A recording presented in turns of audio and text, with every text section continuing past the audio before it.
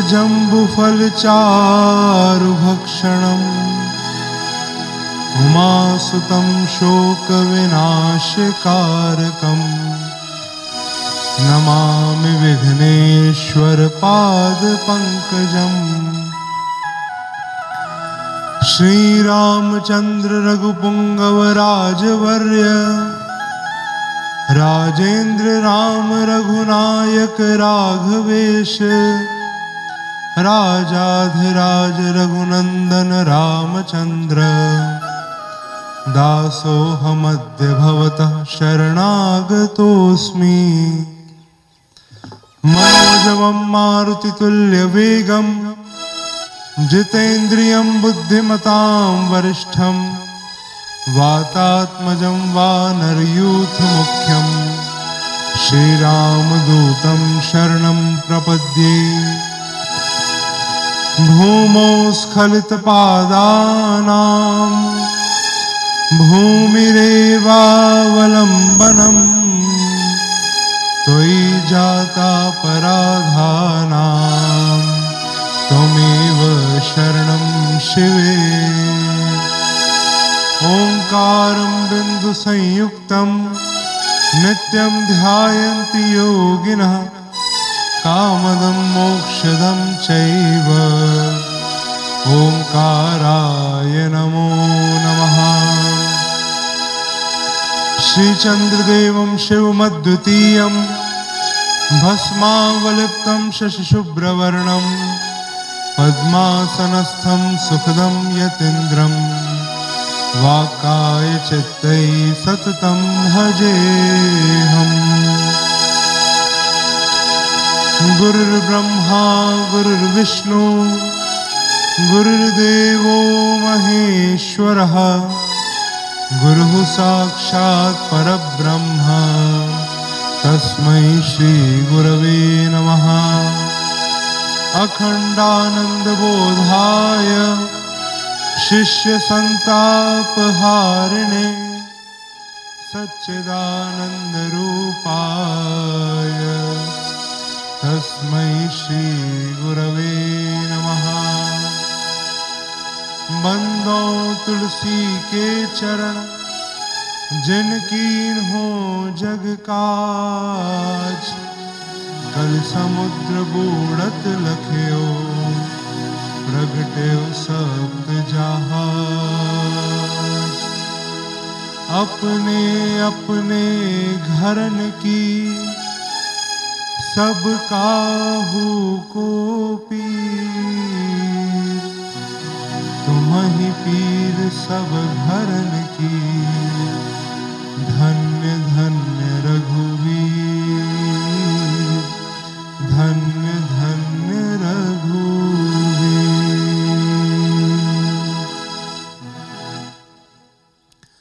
बोल सियावर भगवान की पवन सुत हनुमान की उमापति महादेव आइए आज के सत्संग को हम आरंभ करें। उससे पहले दो मिनट सब मिलकर भगवान श्री राघवेंद्र सरकार की स्तुति कर लें फिर हम आज के विषय में आगे बढ़ेंगे। आइए। नीलाम्बुज श्यामल कोमलाङ्गं सीता समारो पितवामभागम् पाणौ महासायक चारुचापम् नमामि रामं रघुवंशनाथम्।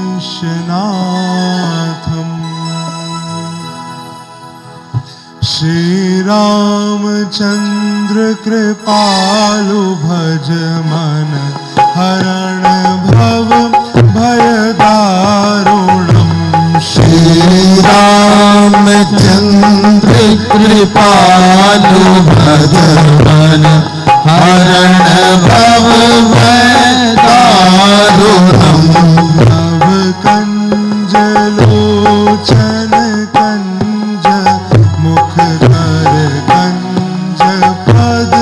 कंजा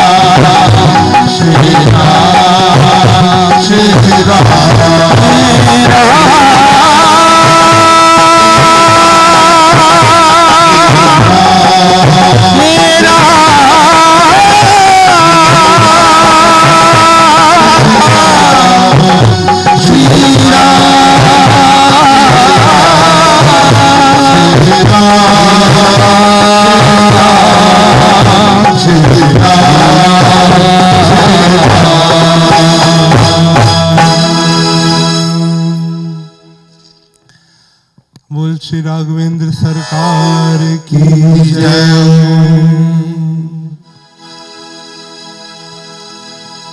सनकादिक समारंभ श्री चंद्राचार्य मध्यमाम, तस्मादाचार्य पर्यंतम, वंदे गुरु परंपराम।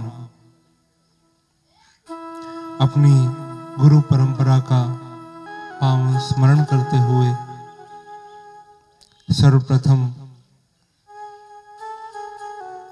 अपने गुरुदेव भगवान का पावन स्मरण, उनके चरण चरण कमलों का पावन स्मरण करते हुए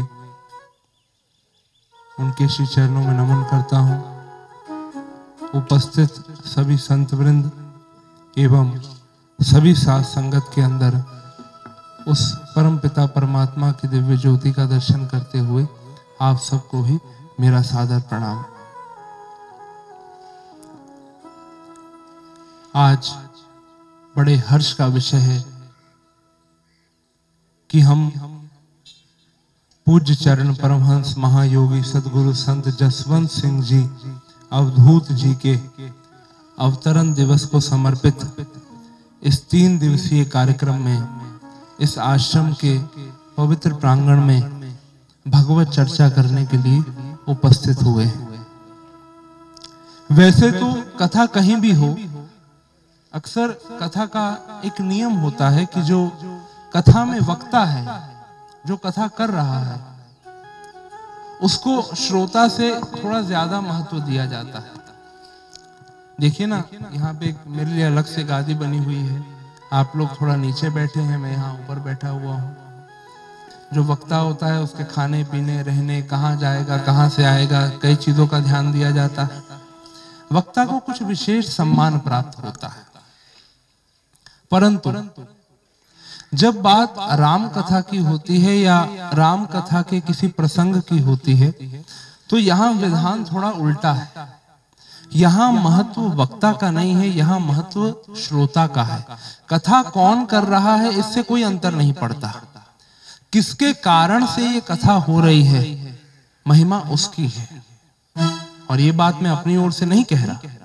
जब जब देवी पार्वती जी भगवान शंकर के पास आके कहती हैं कि महाराज, मुझे वो कथा सुनाइए, जो मैं अपने पूर्व जन्म में नहीं सुन पाई थी तो भगवान उनसे बहुत सुंदर बात कहते हैं कि, धन्य धन्य गिरिराज कुमारी, तुम समान नहीं को उपकारी। हे गिरिराज कुमारी, हे पार्वती, तुम धन्य हो। तुम्हारे स, तुम्हारे समान इस संसार में आज मेरे ऊपर उपकार करने वाला कोई नहीं है। क्यों? पूछो रघुपति कथा प्रसंगा सकल लोक जग पावनी गंगा। जिस गंगा माँ को हम जानते हैं वो गंगोत्री से चलकर गंगा सागर में जाके मिल जाती है। परंतु ये जो राम कथा रूपी गंगा है ये जो भगवत चर्चा रूपी गंगा है ये केवल कुछ लोगों को नहीं, बल्कि सारे संसार को पवित्र करती है। इसलिए भगवान शंकर का आश्रय लेते हुए मैं प्रणाम करना चाहूँगा। परम पूज्य परम श्रद्धे स्वामी श्री गुरविंदर सिंह जी महाराज जी के चरणों में, जिनकी आज्ञा से मुझे आज आप सबके बीच भगवत चर्चा करने का सुअवसर प्राप्त हुआ। है सम्मान्य देवी और सज्जनों, राम चरित्र मानस में एक बहुत सुंदर चौपाई आई। नहीं अचरज जुग जुग चली आई, कहीं न दीन रघुवीर बढ़ाई। इसका भाव ये है कि भगवान का ऐसा कौन सा भक्त हुआ है, जिसको भगवान ने स्वयं आके आशीर्वाद न दिया ऐसा कौन सा भक्त है भगवान का, जिसको खुद भगवान ने आकर उसे सम्मानित न किया हो, उसे बड़ाई न दी हो। चाहे वो विदेह राज महाराज जनक ही क्यों ना हो?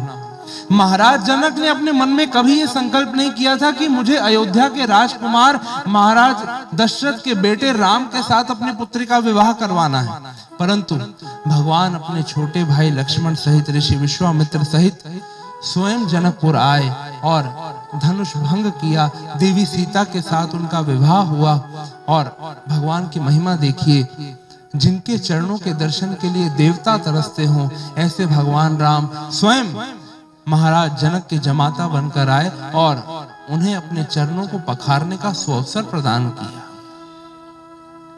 अगर हम बात करें निषाद और केवट जैसे लोगों की, जिन्हें समाज अछूत मानता है, जिनकी परछाई पड़ने पे हम अपने आप को अपवित्र कहते हैं, अगर उनका स्पर्श हो जाए तो लोग घर जाके स्नान करते हैं। ऐसे लोगों को भगवान ने अपने हृदय से लगाया, अपना मित्र माना, अपना सखा माना।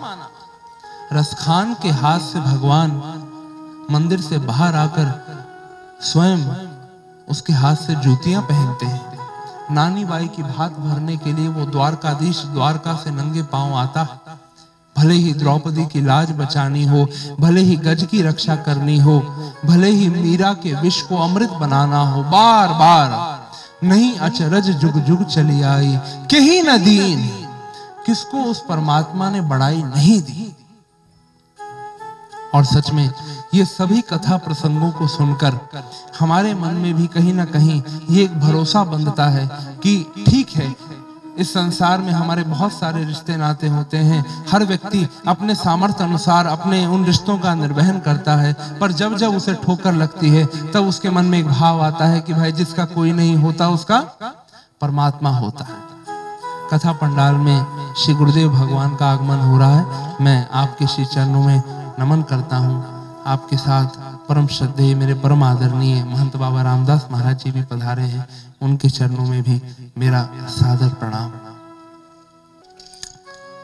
ये हमारे लिए बड़े सौभाग्य की बात है कि संतों के और गुरुजनों के आशीर्वाद की छाया में हमें ये सत्संग श्रवण करने का अवसर प्राप्त हो रहा है। एक बार पुनः सभी संतों के एवं श्री गुरुदेव के चरणों में मेरा नमन। और मैं आप सबसे निवेदन करूँ, आइए प्रसंग में वापस आए। मैं आप सबसे निवेदन कर रहा था कि ये जितने प्रसंग हैं, ये जितनी कथाएँ हैं, इनको श्रवण करके, इनको सुन के, इनको पढ़ के, हम जैसे साधारण लोगों के मन में एक विश्वास बंधता है कि जब भी हमें कभी आवश्यकता होगी तो भगवान हमारे लिए भी आएँगे। भगवान ने इस बात को बार बार साबित भी किया। परंतु जब जब हम इस विषय पर चर्चा करते हैं कि नवदा भक्ति क्या है। तो पहले यह समझ लेना बहुत ज़रूरी है कि भक्ति होती क्या है। क्योंकि भक्त उसी को कहते हैं जो भक्ति करता है।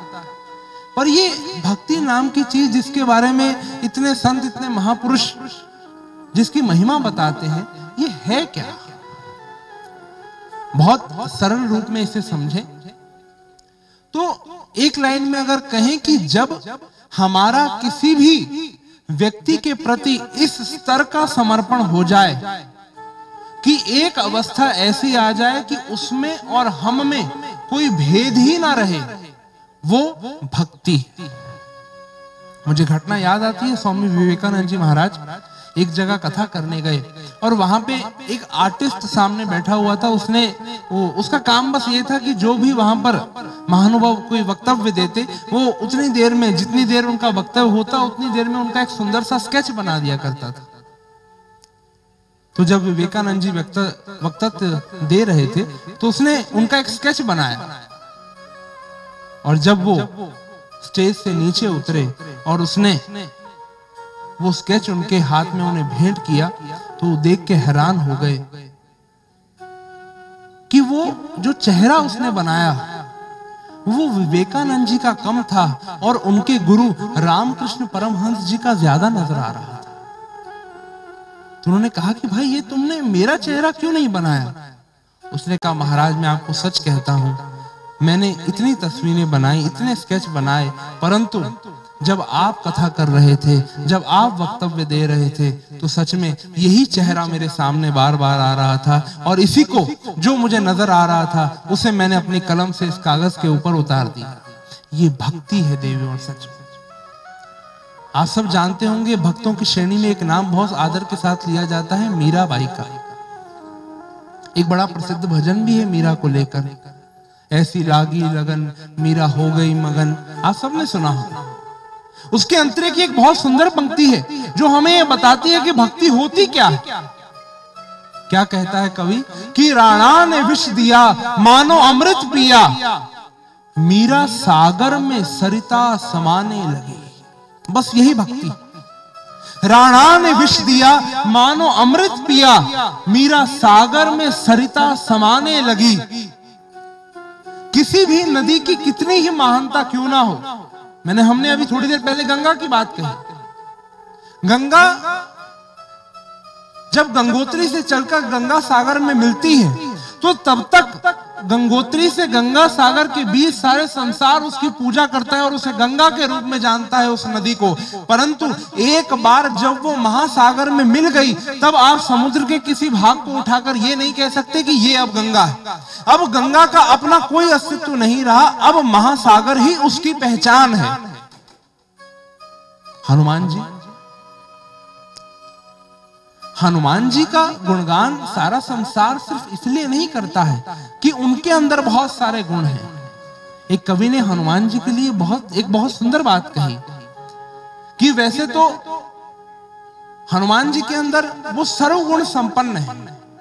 उनके लिए क्या कहा गया? अतुलित बल धामम हेम शैलाव देहम धनुजवन कृषानम ज्ञान नाम अग्रगण्यम सकल गुण निधानम। उनके अंदर संसार के सारे गुण हैं, पर संसार के सारे गुण होने के बावजूद कोई व्यक्ति भगवान बनकर पूजा जाएगा, ये ज़रूरी नहीं है। वो भगवान बनकर इसलिए पूजे जाते हैं क्योंकि उनका सबसे बड़ा गुण ये है। कवि कहता है, एक बंदर बड़ा सुंदर। गुण क्या है? एक बंदर बड़ा सुंदर, जिसके अंदर रामचंद्र हनुमान जी का सबसे बड़ा गुण यह है कि उनके चरित्र में, उनके गुणों में, उनके कृतत्व में, उनके ध्यान में हमेशा उनके आराध्य झलकते हैं। इसलिए मैंने जो आरंभ में बात कही, भक्ति का अर्थ होता है कि किसी के प्रति इस तरह समर्पित हो जाना कि एक अवस्था ऐसी आ जाए एक शायर कहता है कि एक ही सफे में खड़े हो गए महमूद अयाज, ना कोई बंदा रहा, ना कोई बंदा नवाज़। जब भक्त और भगवान में कोई अंतर ही ना रहे, उसे भक्ति कहते हैं देवी और सच और सरल रूप में इसे अगर हमें समझना हो, अभी कल ही पंजाब में आप सब लोग वोट डाल के आए हो। पिछले लगभग दो महीने से इलेक्शन का ही माहौल चल रहा है। अच्छा इलेक्शन में होता क्या? है जितनी पार्टियाँ हैं, इन सब के उम्मीदवार अपनी अपनी पार्टी का मैनिफेस्टो एक हाथ में लेकर चलते हैं कि भाई, हम आपको ये ये वादा करते हैं, आप इसके बदले में हमें वोट दीजिएगा। यही होता है। और वो उस मैनिफेस्टो पे कितना खरे उतरते हैं, कितना नहीं उतरते हैं, ये अलग बात। परंतु हर पार्टी ने एक वादा किया है।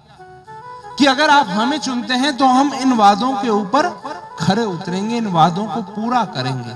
ठीक इसी प्रकार, भगवान ने भी अपना एक मैनिफेस्टो जारी किया है। भगवान ने भी एक वादा किया। क्या? यदा यदा ही धर्म से ग्लानिर्भवती भारत, अभ्युत्थानम धर्म से तदात्मान सृजाम्य हम परित्राणाय साधुनाम विनाशाय च दुष्कृताम धर्म संस्थापनार्थाय संभवामी। युगे युगे। मैंने अपने श्री गुरुदेव के मुख से सुना कि हमारे बड़े महाराज जी परम पूज्य, ब्रह्मलीन संत स्वामी ईश्वरदास महाराज जी कुछ पंक्तियाँ गुनगुनाया करते थे इस संदर्भ में कि भगवान ने एक वचन दिया अपने भक्त को, क्या तनजल पे आता है धर्म जिस वक्त? तनजल पे आता है धर्म जिस वक्त? अधर्म आके करता है बाज़ार गर्म। ये अंधेर जब देख पाता हूँ मैं तो इंसान की सूरत में आता हूँ मैं। भलों को बुरों से बचाता हूँ मैं, बुरों को जहाँ से मिटाता हूँ मैं, जड़े धर्म की फिर जमाता हूँ मैं। अया हो कि युग युग में आता हूँ मैं। जब जब हो त अरिष्ट अपारा, तब तब तरत देह अवतारा। ईश्वर ने ये वचन दिया है। और भले ही वो सतयुग हो त्रेता युग हो, द्वापर हो या कलयुग हो बार बार उस परमात्मा ने अपने इस वचन को सत्य साबित किया। परंतु जिस तरह संविधान में हमारे कुछ फंडामेंटल राइट्स होते हैं, हमारे कुछ मौलिक अधिकार होते हैं। एक भक्त का जिस प्रकार अपने भगवान के ऊपर अधिकार होता है। अच्छा देखिए, हम थोड़ा सा भजन करते हैं, मुश्किल से अगर एक हफ़्ते भी लगातार माला कर ली तो बहुत बड़ी बात है। और उतने में ही अगर परिवार में कोई विपत्ति आ जाए, जीवन में कोई संकट आ जाए तो भगवान के आगे कितनी तरह की गुहार लगाते हैं। अरे भगवान, हम तो तेरे लिए इतना करते हैं, हम तेरे प्रति इतना भाव रखते हैं, हम उसे उल्हाना देते हैं, अपनी शिकायत करते हैं हैं, अपनी अर्जी लगाते हैं। क्यों? हम इसे अपना मौलिक अधिकार समझते हैं। हम इसे अपना फंडामेंटल राइट समझते हैं। ये हर भक्त का फंडामेंटल राइट है कि वो अपने भाव के अनुसार, अपने भगवान के आगे अपनी कोई बात कह सकता। और अपेक्षा क्या रखता है? कि मेरी ये परेशानी का हल भगवान निकालेंगे। वो इसे अपना अधिकार समझता है। परंतु कितनी सुंदर बात है। कि जब हम भक्ति की बात करें तो हमारा भगवान के प्रति क्या अधिकार है, ये हर किसी को याद रहता है। संविधान हमें फंडामेंटल राइट क्या देता है, ये अधिकतर लोगों को पता है। पर उन फंडामेंटल राइट्स के बाद एक सेक्शन आता है, जिसे कहते हैं फंडामेंटल ड्यूटीज़ एक चीज़ है हमारे मौलिक अधिकार और दूसरी चीज़ है हमारे मौलिक कर्तव्य, हमारी ज़िम्मेदारी। भगवान को हमारे लिए क्या करना चाहिए, ये अक्सर हर कोई बता सकता है। परंतु भगवान हमारे लिए क्यों करे, या भक्त को क्या करना चाहिए, ये अगर लोगों से पूछा जाए तो शायद ही कोई इस पर ज़्यादा विचार करता हो। और मैं निवेदन करूँ, जिस प्रकार भगवान भक्त और भक्ति का ये जो संबंध है, इसको सरल रूप में इसी हम ढंग से समझें। कि भक्ति वही है, जो एक भक्त के मौलिक कर्तव्य है। एक भक्त को क्या करना चाहिए? जब वो अपने उन कर्तव्यों का पालन करता है, तब वो भक्त कहलाता है। और जब वो भक्त हो जाता है, तब भक्ति बड़ी सहज भाई कन्हैया की उदाहरण आप सब जानते हैं। जब उनकी शिकायत की गई गुरु साहब के आगे कि आप सिख सैनिकों के साथ साथ जो मुगल सैनिक हैं, उन्हें भी पानी पिला रहे हैं। और उनसे पूछा गया कि क्यों भाई, ये जो तुम्हारी शिकायत आई है, ये सच्ची है क्या? तो कितना सुंदर उत्तर देते हैं कि महाराज, ये शिकायत सही नहीं, क्योंकि शिकायत ये है कि आप, कि मैं सिखों के साथ साथ मुगलों को भी पानी, उनके जो घायल सैनिक हैं, उन्हें भी पानी पिला रहा हूँ। और मैं सच कहता हूँ कि जब कोई दर्द से कराह कर सैनिक मुझसे पानी माँगता है तो मुझे उनमें केवल आपका ही रूप नज़र आता है। और इसीलिए मैंने तो केवल अपने गुरु को पानी पिलाया है। अब इसके बाद वो हिंदू है कि वो मुसलमान है कि सिख है, ये मैं नहीं जानता। ये होता है भगवान का भक्त। इसलिए वो कहते हैं कि ये मेरा सच्चा सिख मैं आप सबसे निवेदन कर रहा था कि जब हम नवधा भक्ति की चर्चा करें तो पहले हमने एक संक्षेप में ये जान लिया कि भक्ति होती क्या है। और ऐसे ही भक्तों की श्रृंखला में एक नाम बड़े आदर के साथ लिया जाता है, वो है मतंग ऋषि की शिष्या शबरी। शबरी है कौन? अधिकतर लोगों को जिनको शबरी का परिचय न पता हो वे ऐसे जानते होंगे कि राम कथा में एक महिला थी जिसने भगवान को जूठे बेर खिलाए थे। इस ना, इस प्रसंग से तो अक्सर लोग जानते ही होंगे। बड़ा संक्षेप परिचय जो शबरी का पढ़ने में मिलता है। वनांचल के एक राजा हुए जिनका नाम था शबर, और उनकी बेटी है शबरी। जब शबरी थोड़ी बड़ी हुई तो उनके पिता ने उनका विवाह निश्चित कर दिया। अब जंगल में रहने वाले लोग थे, वनांचल के लोग थे तो शबरी ने जब विवाह की तैयारियाँ हो रही थी तो शबरी ने देखा कि जंगल से बहुत सारे जानवरों को पकड़कर लाया जा रहा है। और अपनी माँ से पूछती है कि, माँ, ये इतने सारे जानवर आज बाँध कर क्यों लेके आ रहे हैं? उसकी माँ कहती है कि, बेटी, तुझे नहीं पता है, तेरी आज शादी है, तेरा विवाह और जब विवाह में इतने सारे मेहमान आएँगे तो उनके लिए भोजन की व्यवस्था कहाँ से होगी? शबरी पूछती है कि केवल एक मात्र मेरे विवाह के लिए इतने सारे जानवरों को मार दिया जाएगा? भगवान जाने उसके पूर्व जन्म के कैसे संस्कार रहे होंगे? तो उसकी माँ कहती है कि बेटी, प्रथा तो यही है। शबरी को लगता है कि अगर मैं विवाह ना करूँ तो शायद इन सब जानवरों के प्राण बच सकते हैं। शबरी अपने घर से भाग जाती है। लंबे समय तक उसके घर वाले उसे ढूँढने का प्रयास करते हैं और अंत में ये मान लेते हैं कि शायद कोई जंगली जानवर शबरी को खा गया शबरी भागते भागते मतंग ऋषि के आश्रम के पास पहुँचती। अपने आप को एक अधम नारी जान, वो आश्रम में सीधा प्रवेश तो नहीं करती, परंतु वह उस आश्रम में रहने वाले सभी संतों के प्रति उसके मन में बड़ा सद्भाव होता है। उनकी सेवा करने की उसके मन में इच्छा जागती है। प्रत्यक्ष रूप से जाके सेवा कर नहीं सकती। इसलिए शबरी ने एक नियम बना लिया कि रोज सुबह मतंग ऋषि जिस मार्ग से नदी में स्नान करने आते थे, वो रोज उनके आने से पहले उस मार्ग को बुहार दिया करती थी, साफ़ कर दिया करती थी। एक दिन शबरी को उठने में कुछ देरी हो गई और उसकी भेंट मतंग ऋषि से हो गई। मतंग ऋषि ने उससे, उसका परिचय पूछा। बड़ी सकुचाती हुई शबरी ने सारी बात बताई। मतंग ऋषि को उसका एक संस्कार बहुत सुंदर लगा कि कैसे कुछ जीवों के, प्राणों की रक्षा के लिए उसने इतना बड़ा त्याग कर दिया, घर को छोड़ के आ गई। मतंग ऋषि उसे अपने आश्रम में ले आए।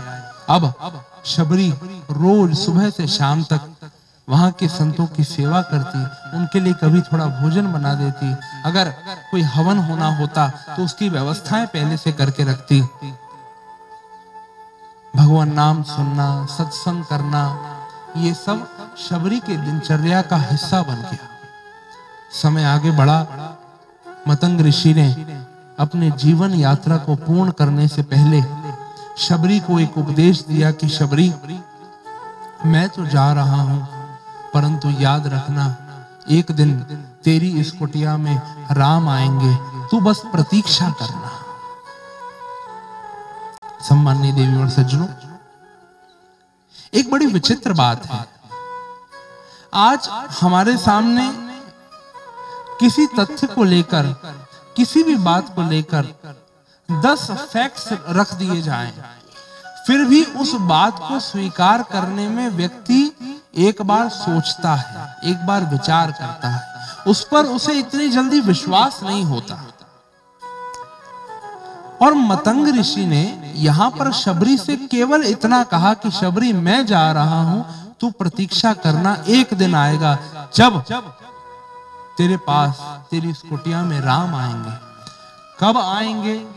कौन से समय पे आएँगे, कौन से महीने में आएँगे, कौन से वर्ष में आएँगे, किस रास्ते से आएँगे, किस रूप में आएँगे, तेरी किस आयु में जाके आएँगे, कुछ भी नहीं बताया। एक भी चीज़ उन्होंने वर्णन नहीं किया एक भी चीज़ का, बस एक ही बात कही कि एक दिन आएँगे, तू प्रतीक्षा करना। और शबरी ने मान भी लिया। कैसी अपने गुरु के प्रति उसकी श्रद्धा थी, कैसा अपने गुरु के प्रति उसे विश्वास था। परंतु मैं निवेदन करूँ देवी और सज्जनों, कि इसमें कोई संदेह नहीं कि अपने गुरु के प्रति शबरी को अटूट श्रद्धा और विश्वास था। परंतु यह कहना गलत होगा कि शबरी के पास भगवान के आने का कोई प्रमाण नहीं था। प्रमाण तो उसके पास था, एक प्रूफ तो था उसके पास। हम जब न्याय शास्त्र पढ़ते हैं तो उसमें कई प्रमाण हमें पढ़ने को मिलते हैं। एक प्रमाण कौन सा होता है? प्रत्यक्ष प्रमाण। प्रत्यक्ष प्रमाण यानी वो हर चीज़ जिसे हम अपनी इंद्रियों के द्वारा देख सकते हैं या महसूस कर सक, महसूस कर सकते हैं, उसे प्रत्यक्ष प्रमाण माना गया जैसे आप इस पंडाल में बैठ के कथा को सुन रहे हैं, आप जब यहाँ से जाएँगे, कोई आपसे पूछेगा तो आप ये बात कह सकते हैं कि भाई, अमुक अमुक स्थान पर एक सत्संग हो रहा है, आज हम वहाँ पर होके आए इस सत्संग की आपको जानकारी कैसे है? आप अपनी कानों से इस सत्संग को सुन रहे हैं, आप आप आँखों से इस सत्संग को घटित होता हुआ देख रहे हैं, यहाँ पर आप बैठे हुए हैं। ये प्रत्यक्ष प्रमाण कहा जाता है, इंद्रियार्थ सन्निकर्ष जन्म ज्ञानम प्रत्यक्षम। जिस चीज़ को आप प्रत्यक्ष अनुभव कर रहे हो, वो प्रत्यक्ष प्रमाण कहा जाता है।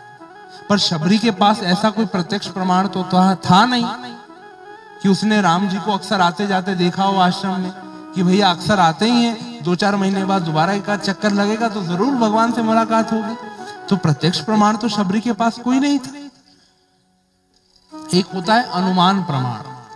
अनुमान यानी अभी आप यहाँ पे बैठे हैं और दूर कहीं आपको आसमान में धुआँ उठता हुआ नज़र आए तो उस उठते हुए धुएँ को देखकर आप ये अंदाज़ा लगा सकते हैं कि कहीं पर आग जल रही है। वो उठता हुआ धुआँ आपको कहीं पर आग जल रही है, इस बात का प्रमाण दे रहा है। इसे कहते हैं अनुमान प्रमाण। संस्कृत में उक्ति आई, यत्र यत्र धूमस तत्र तत्र वहनी।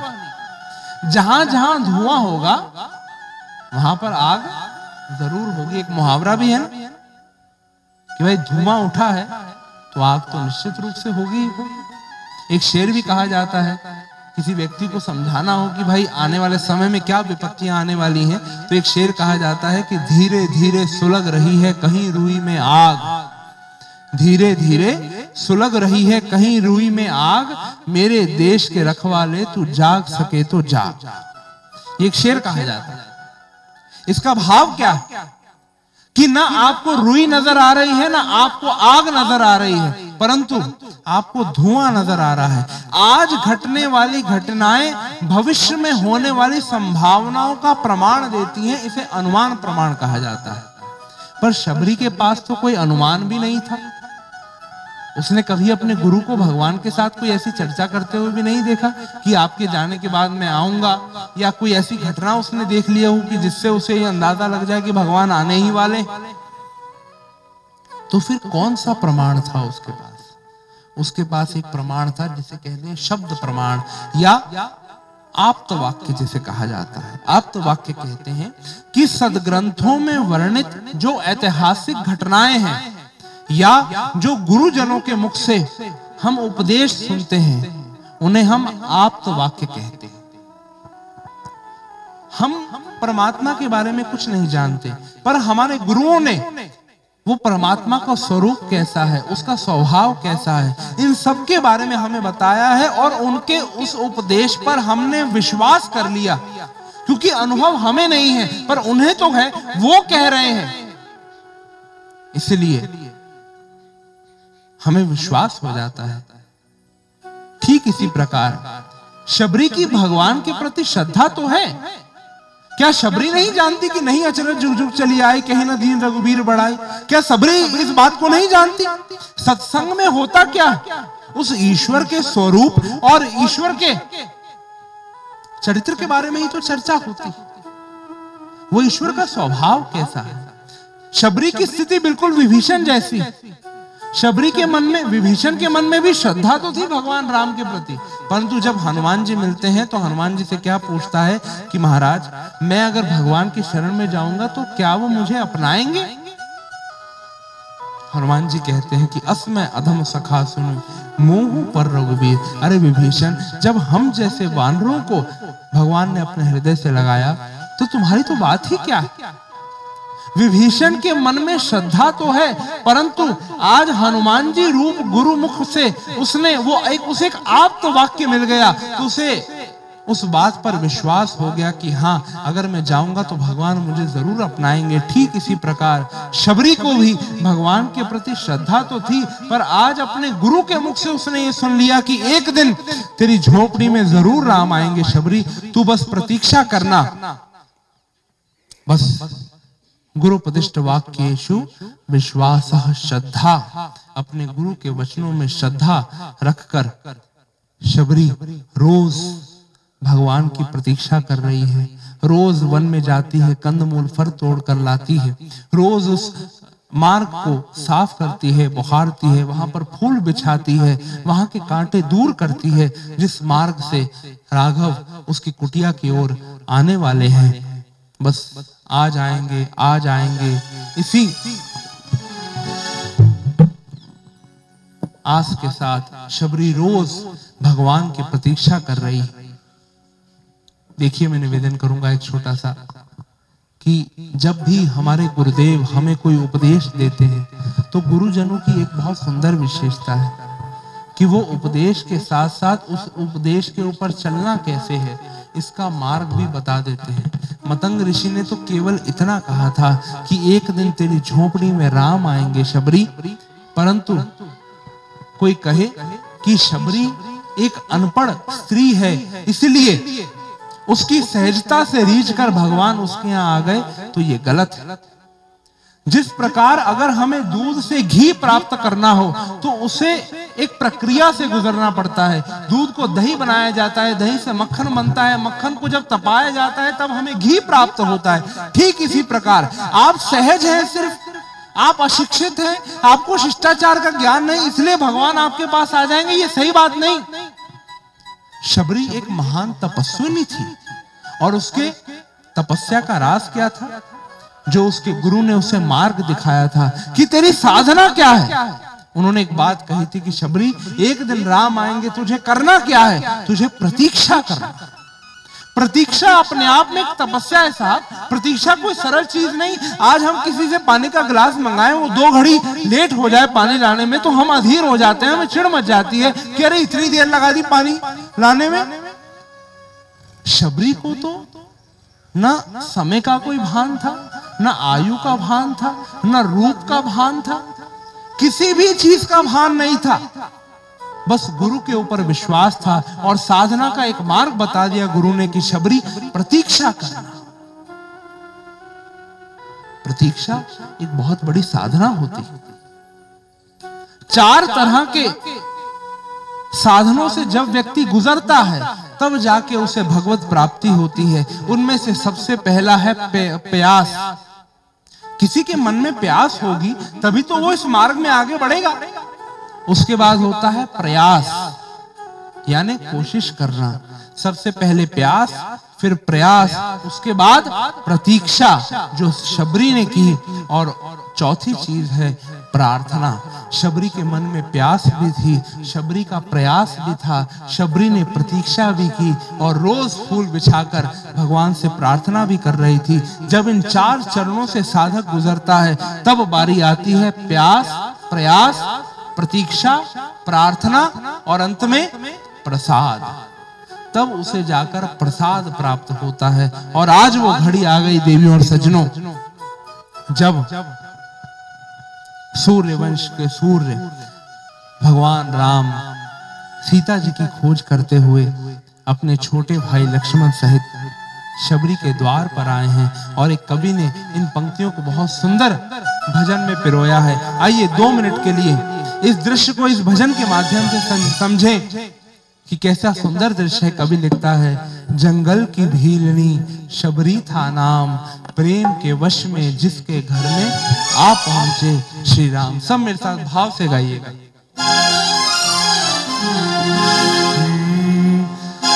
जंगल की भीलनी शबरी थाना जंगल की भीलनी शबरी थाना जंगल की भीलनी शबरी थाना जंगल की भीलनी शबरी थाना प्रेम के वश में जिसके घर में। प्रेम के वश में जिसके घर में आ पहुँचे शेरा। जंगल की भीड़ थी शबरी थाना जंगल की भीड़ शबरी थाना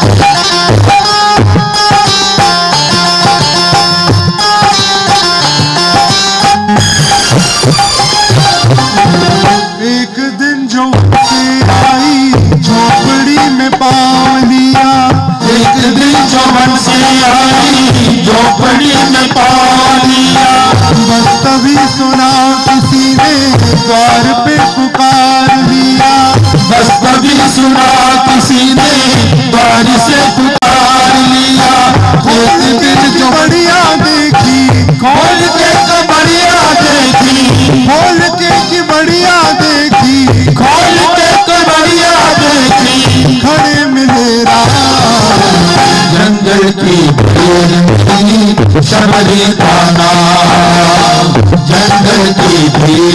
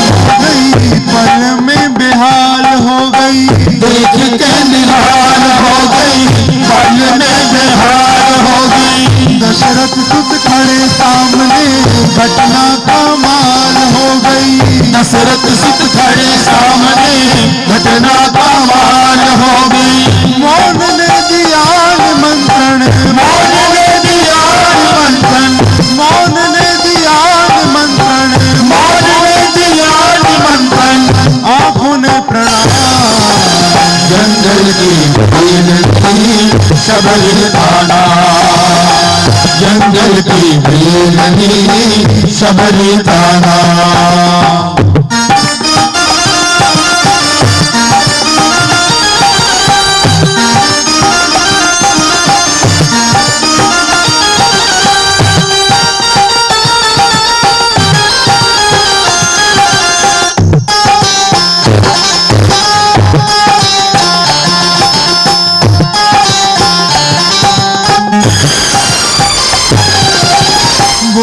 प्रभु धीरे धीरे नाम रामचंद्र मेरा। बोले प्रभु धीरे धीरे नाम रामचंद्र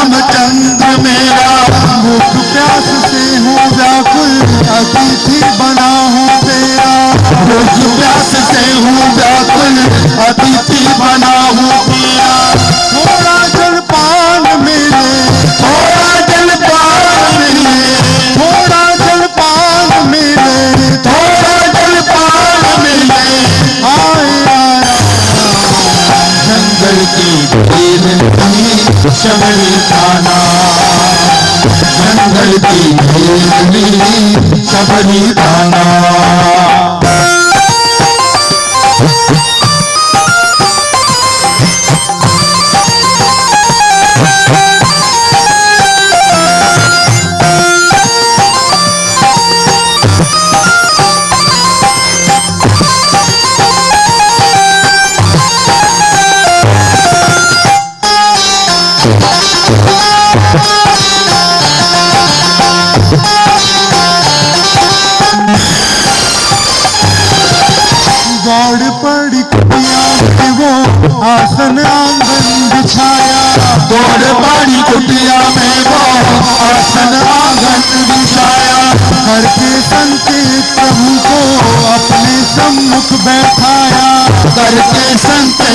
को अपने सन्मुख बिठाया घर थे बेर जितने घर थे बेर जितने घर थे बेर जितने घर थे बेर जितने लाई तमाम जंगल की भीड़ थी सबरी खाना जंगल की भीड़ थी सबरी खाना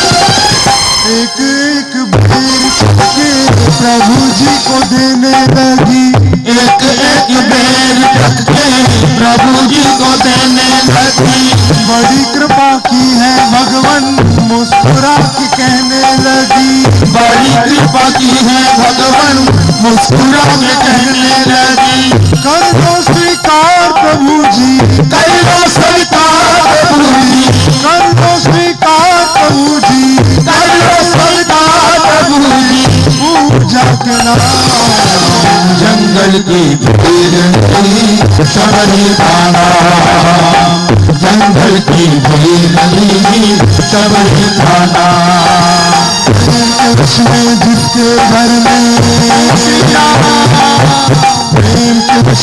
जिसके घर में आ पहुँचे शेरा जंगल की जंगल की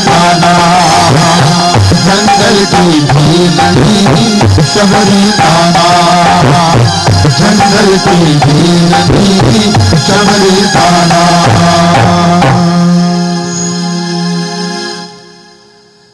जंगल की भीलनी शबरी था नाम।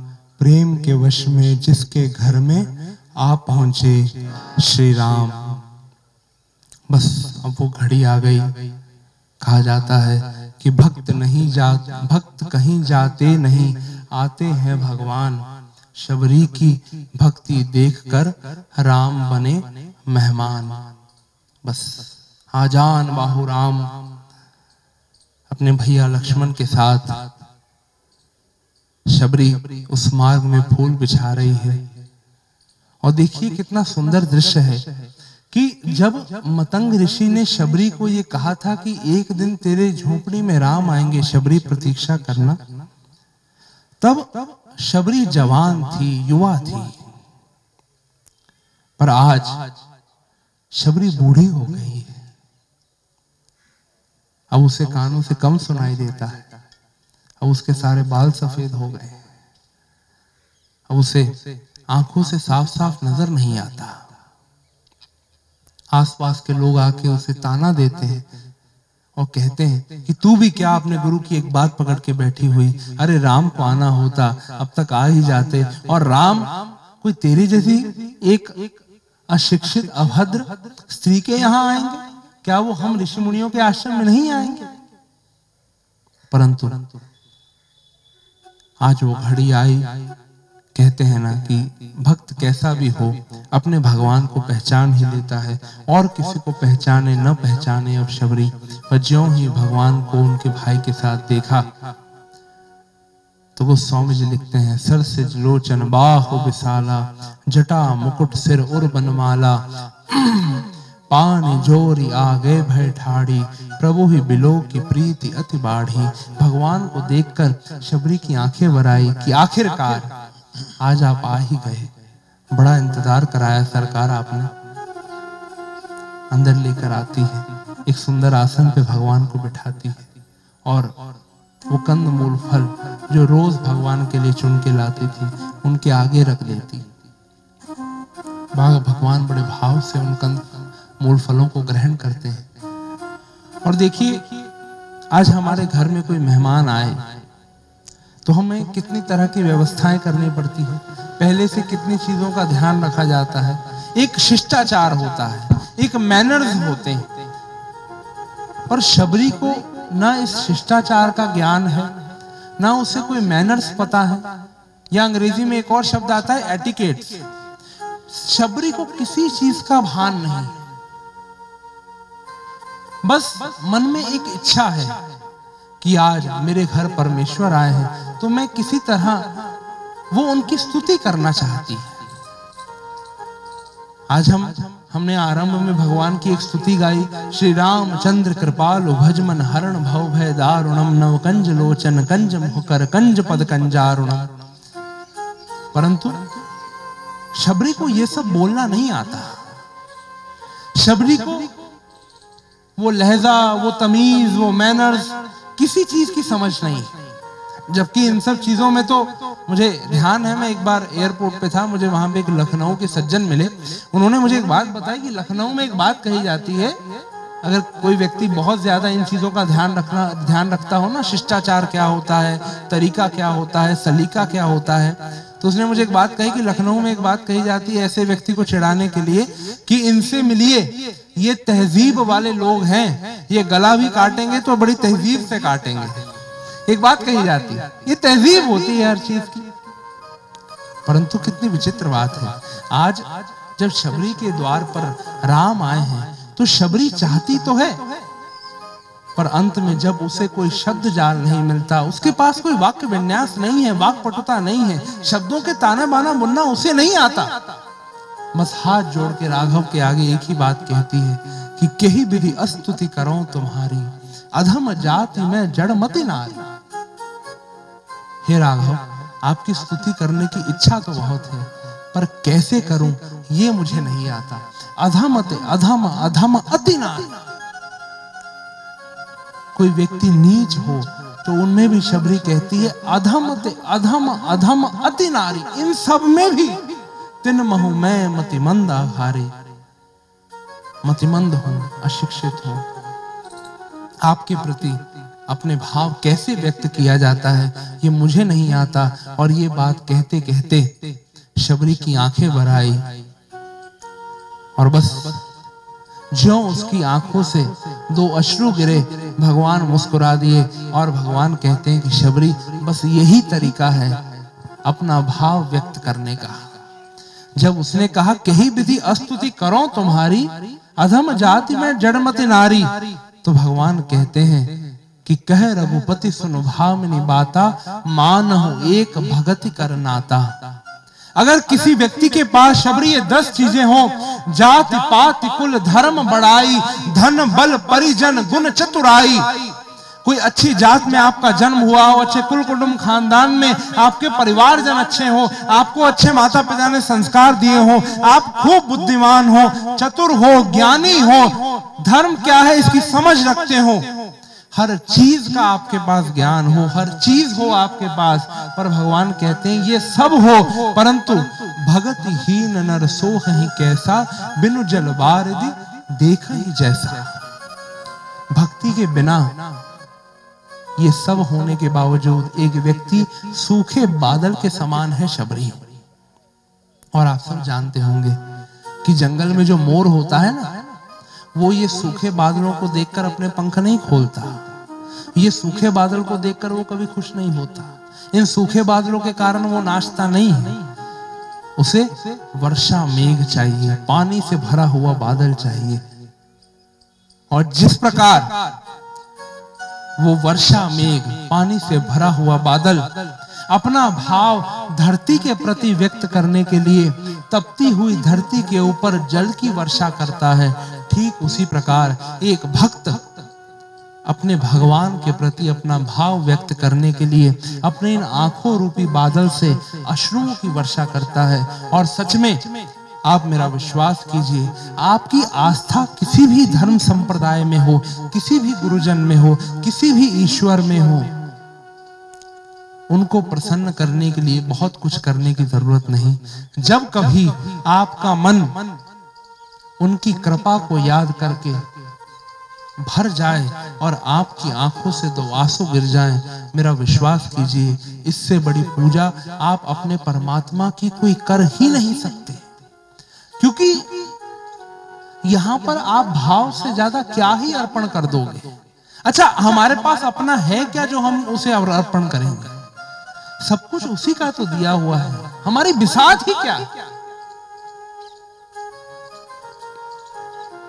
एक दृष्टांत मुझे बड़ा सुंदर लगता है कि एक छोटा सा, मैं अक्सर बोलता हूँ कि एक छोटा सा बालक महाराज जी, चर्च में गया था और चर्च में वो ए टू जेड जीसस के सामने खड़ा होके ए टू जेड पूरी पढ़ रहा था। तो वहाँ पे जो फादर साहब थे, उन्होंने कहा कि, भाई, ये तो चर्च में तो प्रेयर की जाती? ये तू ए टू जेड क्या पढ़ के सुना रहा है जीसस को उसने कहा कि, फादर, मुझे प्रेयर क्या होती है ये भी नहीं पता, और प्रेयर में किन शब्दों का प्रयोग किया जाता है ये भी नहीं पता। तो फादर ने कहा, जब प्रेयर पता नहीं क्या होता है, प्रेयर क्या है ये भी नहीं जानता तो ये ए टू जेड से क्या लेना देना? उसने कहा कि मुझे ये तो नहीं पता कि प्रेयर है क्या, पर इतना पता है कि दुनिया की कोई भी प्रेयर होगी, वो ये ए टू जेड के बीच में ही आती है। तो मैं ये ए टू जेड भगवान को सुना रहा हूँ ए टू जेड अपने जीसस के आगे रख रहा हूँ, अब प्रेयर वो खुद बना लेंगे। ये एक भाव है भक्त का। बस इसी भाव के साथ आज शबरी खड़ी। कहने को तो शबरी के पास कुछ नहीं है, परंतु जिसके द्वार पे स्वयं ब्रह्म खड़ा हो, अगर उसे हम गरीब समझे। मुझे गुरुजी ने बताया, पूज्य गुरुदेव स्वामी ईश्वरदास महाराज एक बात कहा करते थे कि वो परमात्मा जिसको कुछ नहीं देता, उसका वो खुद हो जाता है और जिसे वो सब कुछ दे देता है, उसे फिर अपने काबिल ही नहीं समझता। जिसे वो कुछ नहीं देता, उसका वो खुद हो जाता है और जिसे वो सब कुछ दे देता है, फिर उसे अपने काबिल ही नहीं समझता। इसलिए भगवान शबरी को धीरज बंधा कर कहते हैं कि, शबरी, तू योग्य है। इसलिए आज नवधा भक्ति कहा तो ही पाही, सावधान सुन धर्म माही। आज शबरी, मैं तुझे नवधा भक्ति का उपदेश देता हूँ, जिसे सावधान होकर सुनना। नौ भक्तियों का उपदेश देवी और सज्जनों, भगवान ने शबरी को दिया है। ये नौ भक्तियाँ हैं। प्रथम, भगति संतन कर संगा। दूसर, रति मम कथा प्रसंगा। गुरु पद पंकज सेवा, तीसरी भक्ति अमान। चौथी, भगति मम गुण गण करही कपट तजिगान। मंत्र, जाप मम दृढ़ विश्वासा। पंचम, भजन सुवेद प्रकाशा। छठ दम शील विरति बहु कर्मा। निरत निरंतर सज्जन धर्मा। सातव सम्मोहि मैं जग देखा मोते संत अधिक कर लेखा। आठव जथा लाभ संतोषा, सपने नहीं देखई पर दोषा। नवम सरल सब सन छल हीना, मम भरोस ही हर्ष न दीना। इन नौ भक्तियों के ऊपर चर्चा करने के लिए मैं इन तीन दिनों के लिए आप सबसे जुड़ा हूँ। बड़े संक्षेप में, ये नौ भक्ति एक नवधा भक्ति देवी और सज्जनों, एक मानस का ऐसा गूढ़ विषय है कि नौ भक्तियों के ऊपर नौ दिन कथा की जा सकती है। जो अनुष्ठानात्मक रूप में रामायण की नौ दिन की कथा होती है, ये नवधा भक्ति ही एकमात्र ऐसा विषय है। वैसे तो मानस में और कई विषय ऐसे मिलते हैं, परंतु नवधा भक्ति इतना गूढ़ विषय है, जिसके ऊपर ही नौ दिन वक्ता व्याख्यान दे सकता है। पर हमारे पास समय की भी मर्यादा है और मुझ, मेरी जितनी गुरु कृपा से समझ होगी, बड़े संक्षेप में मैं आपके सामने वो भाव रखूँगा। बस निवेदन इतना है कि जो भगवान ने शबरी से कहा, सावधान सुन धर मन माही शबरी सावधान होकर सुनना। और इसलिए सबसे पहली भक्ति का उपदेश भगवान ने शबरी को दिया। और मैं एक और निवेदन कर दूँ कि सिर्फ़ शबरी ही नहीं नवधा भक्ति जो शबरी को दिया गया ज्ञान है, विभीषण को भगवान ने आगे चलकर धर्म रथ का ज्ञान दिया। कुरुक्षेत्र के मैदान में भगवान कृष्ण ने गीता का उपदेश अर्जुन को सुनाया। तो ये जितने उपदेश भगवान कहीं अर्जुन को दे रहे हैं, कहीं विभीषण को दे रहे हैं, कहीं शबरी को दे रहे हैं, ये केवल उन्हीं तक सीमित नहीं है। वो तो केवल एक निमित्त बनते हैं। ये उपदेश आपके लिए है, ये उपदेश मेरे लिए है, ये उपदेश सारे समाज के लिए है, सारे संसार के लिए है। बाशर्त, अगर हम इन्हें अपने जीवन में अपनाना चाहें तो। पहली भक्ति में भगवान कहते हैं, शबरी, मुझ तक पहुँचने की सबसे पहली भक्ति है, प्रथम भगति संतन कर संगा। जीवन में साधु पुरुषों का संग करना, शबरी। अंग्रेज़ी में एक बात कही जाती है a man is known by the company he keeps एक व्यक्ति की पहचान उसकी संगति से होती है। व्यवहारिक दृष्टि से भी, अगर कोई माता पिता कहीं अपनी बेटी का ब्याह कराने जाए तो अपने जमाता का, उनका जो होने वाला जमाता है, उसकी संगति किस तरह के लोगों में है, उसके मित्र कैसे हैं, किस तरह के लोगों में उसका उठना बैठना है, इन चीज़ों का भी ध्यान रखा जाता है। क्यों? क्योंकि a man is known by the company he keeps एक व्यक्ति की पहचान उसके संग से हो जाती है। और इसका एक और पक्ष है कि हमारा जिस तरह के लोगों के साथ उठना बैठना होगा या हमारी संगति जिस प्रकार की होगी, उस संगत में रहने वाले जितने गुण और अवगुण हैं, वो सब हमारे अंदर भी एक समय के बाद आना शुरू हो जाते हैं। एक बड़ी प्रसिद्ध पात्र है मानस की कैकई देवी कौशल्या से ज़्यादा प्रेम भगवान राम को कैकई ने दिया है? और भगवान राम अपनी सगी माँ कौशल्या से ज़्यादा बचपन में देवी कैकई के साथ रहे पर फिर भी एक बस, एक गलती रही कैकई की, कि उसके जीवन में मंथरा का कुसंग साथ साथ में चला। मंथरा से आप सब परिचित ही होंगे। और जब महाराज दशरथ ने ये घोषणा कर दी कि कल सुबह राम को राजा बना दिया जाएगा, पहले तो कैकई बहुत प्रसन्न थी, पर जो ही मंथरा आके कहती है कि कैकई, तू तो भोली है, तुझे पता नहीं, ये कौशल्य और दशरथ का षड्यंत्र है तेरे खिलाफ। आज महल में भरत और शत्रुघ्न नहीं है और उनकी अनुपस्थिति में राम को राजा बनाया दिया जा रहा है। तेरे साथ षड्यंत्र हो रहा है, षड्यंत्र को पहचान। कल को तेरी स्थिति भी मेरे जैसे ही होगी, आज जैसे मैं इस महल में दासी हूँ, कल को तू कौशल्या की दासी होगी और वो राजमाता बनकर बैठेगी। सब बातें कही। पहले तो क्या कही, उसे झटकार कर भगा देती है कि घर फोड़ने की बात करती है, चली जाए यहाँ से, अगर नहीं गई तो तेरी जीव काट लूँगी। परंतु कहते हैं ना कि अगर मन में कहीं कोई बीज पनप रहा हो पहले से और उसे उचित वातावरण मिल जाए उसे उसके अनुकूल बातें मिल जाए। तो व्यक्ति के मन की बात सामने आ जाती है। जो कह कही थोड़ी देर पहले मंथरा से कह रही थी कि तू घर फोड़ी है, घर को तोड़ने की बात करती है, चली जाए यहाँ से। जो मंथरा जाने लगती है, उसको हाथ पकड़ लेती है और एक बात कहती है, प्रिय सिख दीन हो तो ही, सपने होते पर कोप ना मोही, बस यही गलती कह कही ने की और कोई गलती मंथरा जा रही थी। और उससे प्रिय वादनी तू तो मेरी कितने प्रिय है, कितने सुंदर वचन कहने वाली। मैं तो सपने में भी तेरे ऊपर क्रोध नहीं कर सकती। तो बैठ तो सही तो क्या कह रही है? तो अच्छे से बता। बस, आगे इतिहास क्या हुआ, वो आप सब जानते हैं देवी और सच। इसलिए जीवन में अच्छी संगति रखिए। कुछ लोग कहते हैं कि महाराज, अगर हमारे सगे संबंधी अच्छे हों, अगर हमारे मित्र अच्छे हों, हमारे रिश्तेदार अच्छे हों हमारे परिवारजन अच्छे हों तो फिर भी क्या किसी साधु की संगत करना, किसी संत की संगत करना, ये ज़रूरी मैं निवेदन करूँगा कि साधु की संगत इसलिए की जाती है, क्योंकि ये एक प्रकृति का नियम है कि एक व्यक्ति का जिसके प्रति ज़्यादा झुकाव होता है वो धीरे धीरे उसके ही रंग में ढलना शुरू हो जाता है। ऐसे ही नहीं कहा गया पारस मणि और संत में बड़ो अंतरो जान, ये लोहा कंचन करे, ये करे आप समान। पारस मणि लोहे को सोना बना सकती है। पारसमणि नहीं बनाती परंतु ये संत का गुण है कि जब आप एक संत की संगति करते हैं तो धीरे धीरे धीरे एक अवस्था आती है कि उसका वो संतत्व, उसके वो गुण आपके अंदर घटित होना शुरू हो जाते हैं और एक अवस्था के बाद आप भी एक संत बन जाते हैं। इसलिए जीवन में संतों की संगति करनी चाहिए। मुझे एक घटना बहुत सुंदर याद आती। है गौतम बुद्ध के एक शिष्य हुए आनंद। उनके बड़े प्रिय शिष्य थे। एक बार। उदासीन संप्रदाय में भी चतुर्मास की परंपरा है। जैन मुनियों में भी इसकी परंपरा देखने को मिलती है। जो बारिश के चार महीने हैं, अब तो चलिए, कुछ व्यवस्थाएँ बहुत बदल गई।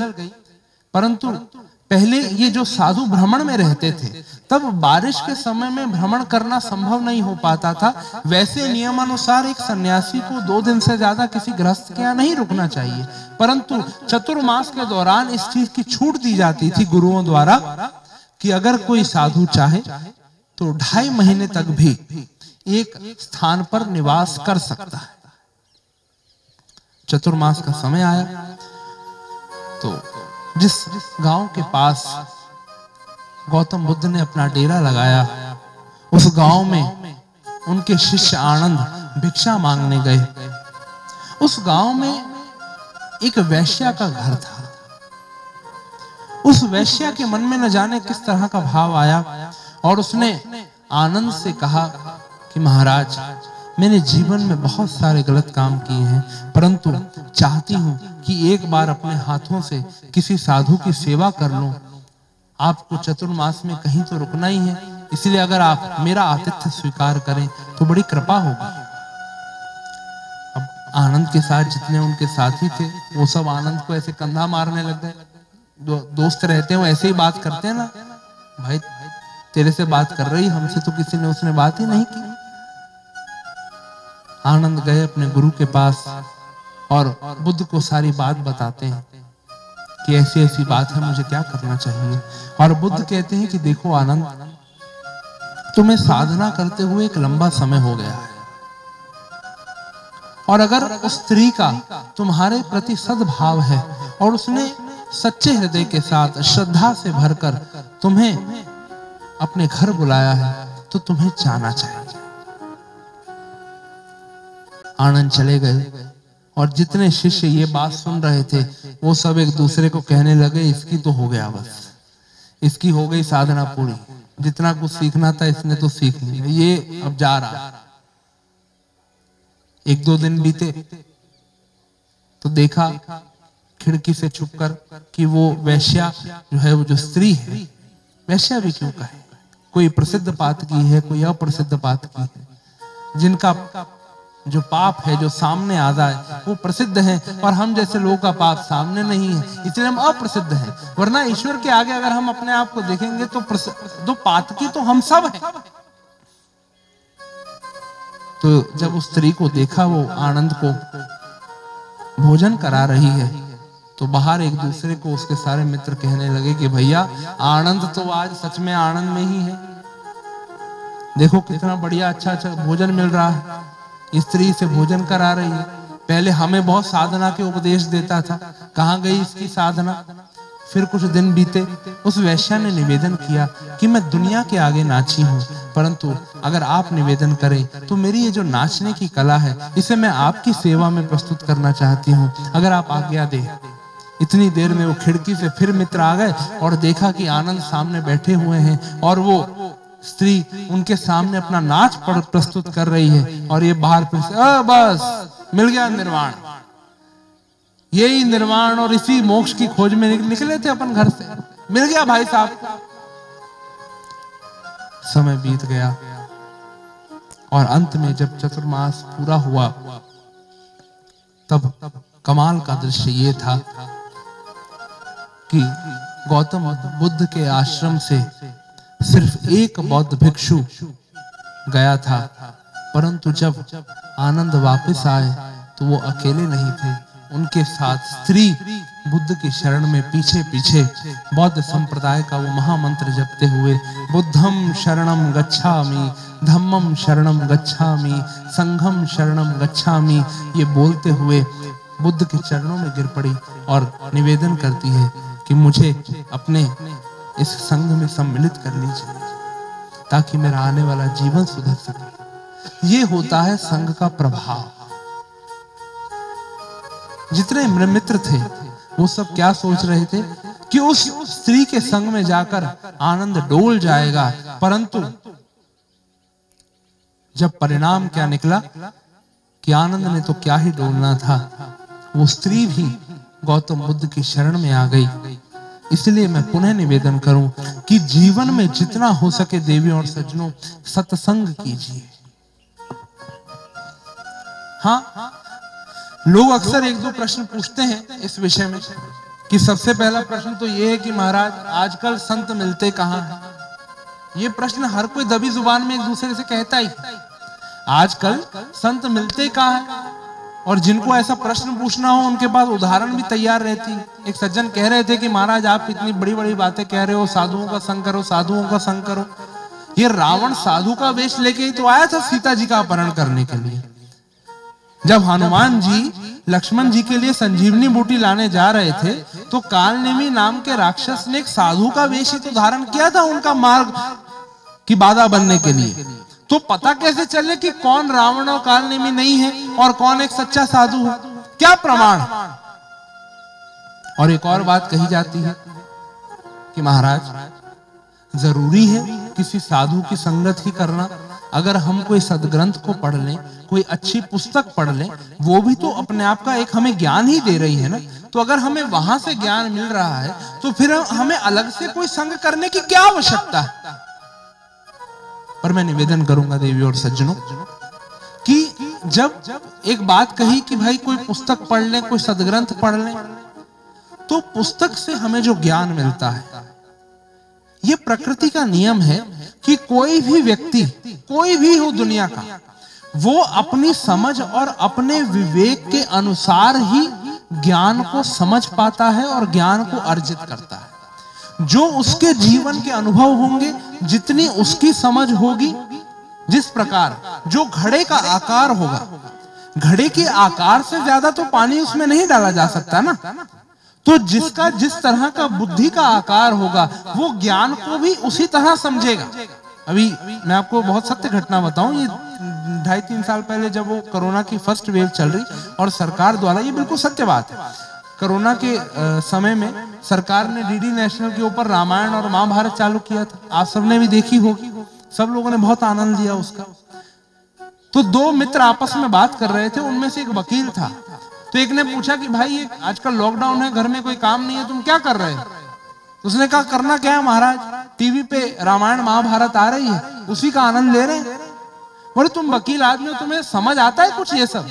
बोले, समझने में क्या रखा है?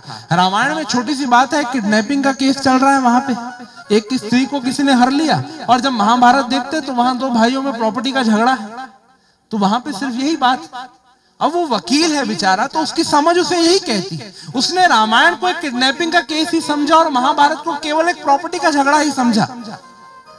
भाव मेरा यह है कहने का कि पुस्तक से ज्ञान तो मिलता है, पर जिस तरह एक पांचवी का बच्चा एमए की किताब तो पढ़ सकता है, पर एमए की किताब में जो बात कही गई है, उसका सही अर्थ नहीं निकाल सकता, ठीक उसी तरह पुस्तक से ज्ञान को पढ़ लेना अलग बात है, पर उस ज्ञान का सही अर्थ क्या है? ये हमें सत्संग में जाकर प्राप्त होता है। ये हमें किसी साधु की शरण में जाकर प्राप्त होता है। ऐसे नहीं कहा गया, यथा खरत चंदनो भारवाही भार्य सवेता न तो चंदन से एवं ही शास्त्राणि बहुनिधित्यो अर्थेशु मूढ़ा खरवत वहंती जिस प्रकार एक गधे के पीठ पर चंदन लाद दिया जाए और उसे, उस चंदन का कोई मोल नहीं पता होता। उसे केवल वो एक भार लगता है। ठीक इसी प्रकार, शास्त्रों में दिए गए उपदेशों के सही अर्थ को जाने बिना, जो व्यक्ति उसे तोते की तरह रटता रहता है, वो उस चंदन लदे हुए गधे के समान माना गया है, नीति शास्त्र। इसलिए देवी और सज्जनों, जो एक बात कही गई कि क्या पुस्तक ही काफ़ी नहीं नहीं। एक जीवन में साधु का संग संग तो होना ही चाहिए। और दूसरी जो बात कही जाती है कि महाराज, आजकल संत मिलते कहाँ हैं?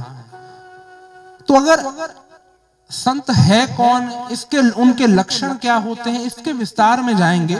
तो जब लक्ष्मण जी ने, जब नारद जी ने भगवान से पूछा कि संतों के लक्षण क्या है तो तो भगवान ने तो बहुत सारी बातें कही। छठ विकार जित अनग अकामा, अचल अकिंचन सुचि सुखधामा।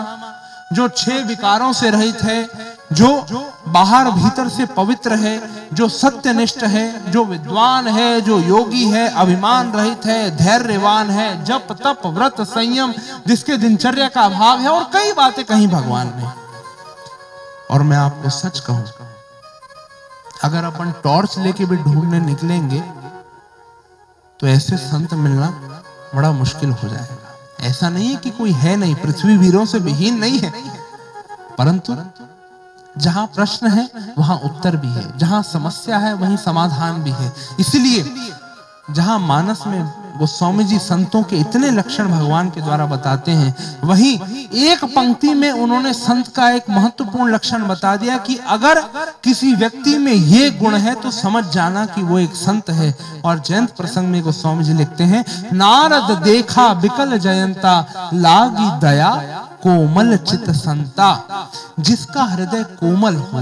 वैष्णव जन तो तेने कहिए जे, पीड़ पराई जाने रे, जो दूसरे के दुख में अपना दुख खोज ले, जो दूसरे के दुख को देखकर द्रवित हो जाए, जो दूसरे को पीड़ा में देखकर जिसका मन करुणा से भर जाए, बस इतनी सी पहचान है। उसे आज के समय में संत जान लेना, जिसका मन हमेशा सर्वे भवंत सुखना, सर्वे संत निरामया, इसी भावना से पल्लवित होता हो कि संसार में ईश्वर सबका कल्याण करे। रोज अरदास होती है गुरुद्वारों में। अंत में क्या बात कही जाती है? नानक नाम चढ़दी कला, तेरे भाणे सरबत ये एक संत की पहचान है, जो सबके भले की कामना करता है। या हम कहें कि जो सबका होता है, वही संत होता है और दूसरे शब्दों में, जो सबका है, वही संत है। इसीलिए जीवन में जितना हो सके सत्संग कीजिए। जब भगवत पास शंकराचार्य जी के शिष्यों ने उनसे पूछा कि भगवत प्राप्ति का मार्ग क्या है? के हेत वो ब्रह्म गतेस्तु संति? उस ब्रह्म की ओर गति करने का रास्ता क्या है? के हेत वो ब्रह्म गतेस्तु संति? उस ब्रह्म तक पहुँचने का मार्ग क्या है, महाराज? तो उत्तर क्या मिला? सत्संग तिर दान विचार तो शह, ये चार चीज़ें जीवन में याद रखना। प्रश्नोत्तरी में इसका उल्लेख आता है। ब्रह्म की ओर गति करने में सबसे पहला जो साधन भगवत पाद शंकराचार्य जी ने बताया, सत्संग सत्संग गतिर दान विचार तोष। जीवन में सत्संग करो, सात्विक दान करो, ईश्वर के स्वरूप का चिंतन करो और मन में संतोष भाव बनाए रखो। ये ईश्वर तक ले जाने के मार्ग हैं। और इसलिए मैं एक बार पुनः निवेदन करूँ, जो भगवान ने पहली भक्ति में कहा, प्रथम भगत संतन कर संगा। जीवन में जितना हो सके संतों का संग कीजिए। ये बात अलग है कि आप चाहे संतों का संग करेंगे या असंतों का संग करेंगे। दुख आपको जीवन में दोनों देने वाले दुख तो आपको दोनों देंगे, ये निश्चित है। बस अंतर सिर्फ़ इतना है, बिछुड़त एक प्राण हर ले ही मिलत एक दुख दारुण दे ही एक संत जब जीवन से चला जाता है, तब दुख देता है, और एक असंत जब जीवन में आ जाता है तब दुख देता है। इसलिए जितना हो सके देवी और सज्जनों, संतन के संग लागरे तेरी बिगड़ी बनेगी। आई। संतन के संग लाग रे, तेरी बिगड़ी बनेगी। संतन के संग लाग रे, तेरी बिगड़ी बनेगी। संग लाग धन के संग संग लाग रे तेरी बिगड़ी बनेगी संतन के संग संग लाग रे तेरी बिगड़ी बनेगी संतन के संग संग लागरे तेरी बिगड़ी बनेगी ध्रुव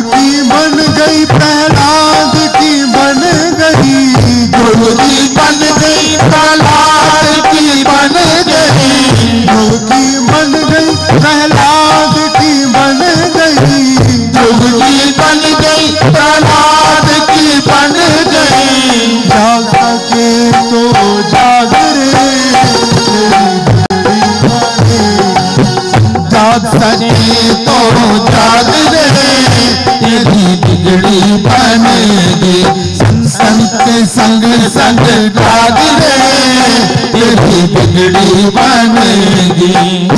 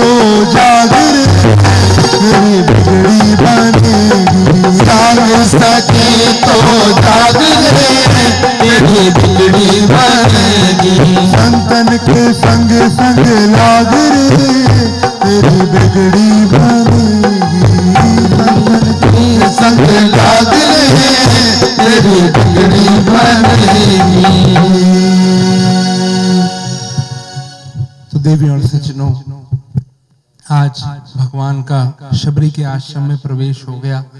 भगवान का स्वागत शबरी ने अपने सजल नेत्रों के साथ किया और उसकी सहजता, सरलता और उसकी तपस्या को देखकर भगवान ने शबरी को नवधा भक्ति का उपदेश दिया। आज कार्यक्रम का पहला दिन था, इसलिए कुछ कारणों के वजह से आज कार्यक्रम कथा कुछ देरी से शुरू हुई।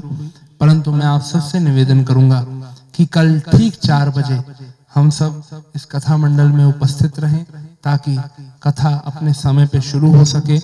और जैसा कि मैंने आरंभ में कहा था, सावधान सुरधर्म मनमाही सावधान होकर इस नौ भक्तियों को सुनिएगा। ये हमारे लिए बहुत शुभप्रद होंगी और ये बहुत सरल मार्ग है। आज हमने पहली भक्ति की चर्चा की। प्रथम भगति संतन कर संगा। जीवन में संतों का संग कीजिए। कल हमें, कल मैं प्रयास करूँगा कि आपको मैं छठवीं भक्ति तक ले जाऊँ। एक लंबी छलांग है, इसलिए कल आप सबसे निवेदन है कि थोड़ा समय पे आइए ताकि हम कथा में, हम इन नौ भक्तियों का आनंद ले सकें। अब मैं निवेदन करूँगा कि अब आरती का आइए, आरती हो उससे पहले एक मिनट के लिए भगवान नाम संकीर्तन होगा और उसके साथ ही आरती आरंभ हो जाए।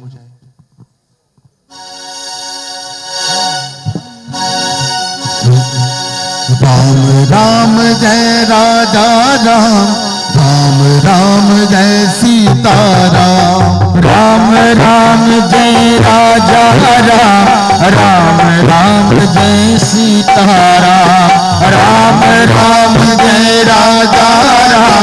राम राम जय सीता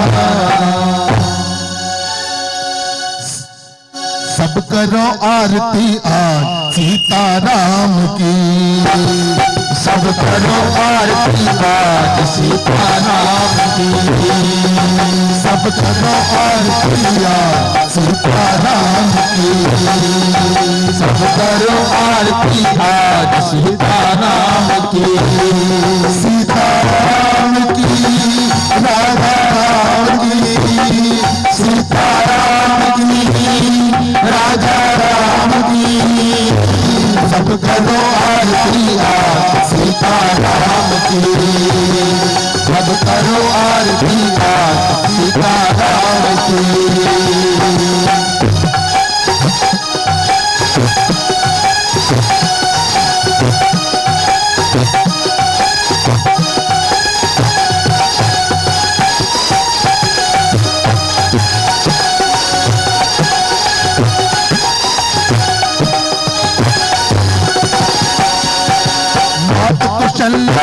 तुम प्यारे नाग छल्ला के तुम प्यारी सब भगतन के तुम रखवारे, सब भगतन के तुम रखवारे।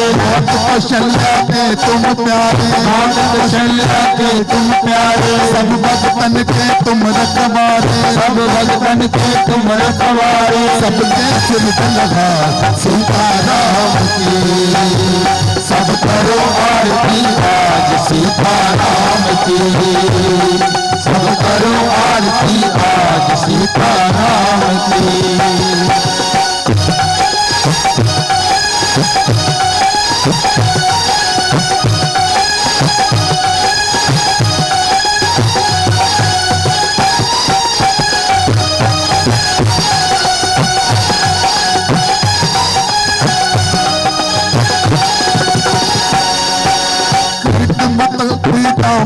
पीताम्बर सोहे एक पीता पीताम्बर सोहे गले में माला मोहे गले बजंती माला मोहे मुकुट पीताम्बर सोहे पीता मुकुट पीताम्बर